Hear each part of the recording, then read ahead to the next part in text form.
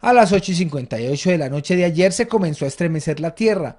Un sismo de 6.1 grados en la escala de Richter sacudió a gran parte de los habitantes del departamento que a esa hora se disponían a dormir. Yo sí estaba caminando y las cosas se movían, pero pues yo me parecía increíble que estuviera pasando eso.